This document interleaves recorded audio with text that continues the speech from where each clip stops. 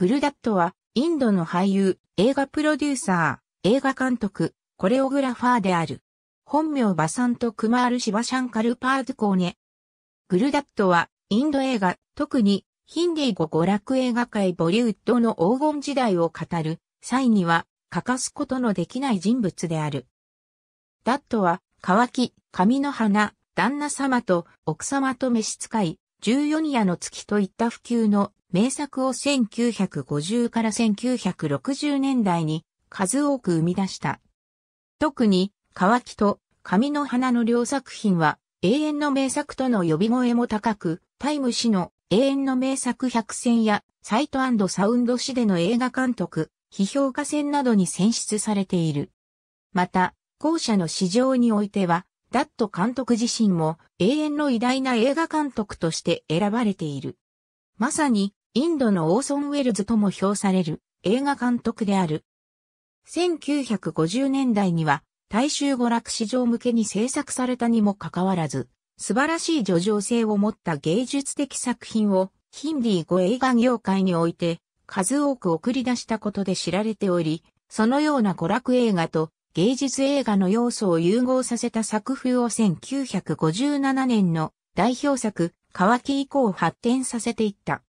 彼の作品のリバイバル上映の折にはホールが満員になることも多く、特にドイツ、フランス、日本では人気が高い。ダットに関して書かれた最近の本としては、インドの女性誌、フェミナの編集者、サッティア・サランによる、10 Years with グルダット、アブロア・アルビー、エス・ジャーニーがある。この本は、ダット監督の作品の多くを手掛けた脚本家であり、彼の個人的な友人でもあったアブラール・アルビーの回想に基づき書かれている。日本では1980年代に映画批評家の蓮見茂彦がダグラス・サークや成瀬幹夫と比して称賛している。1925年7月9日、イギリス領インド帝国の支配下に置かれたマイソールファン、王国バンガロールにおいて、チトラプル・サラスワとの家系に生まれる。その後父親の仕事の都合で、当時英領植民地の首都であったカルカッタに一家で移り住む。ラビシャンカルの弟、ウダイシャンカルの舞踊学校で2年間舞踏を学ぶ。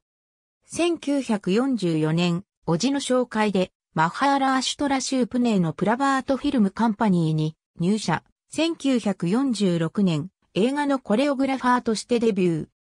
俳優や助監督として映画界でのキャリアを積み、1951年に初監督作、賭けでデビュー。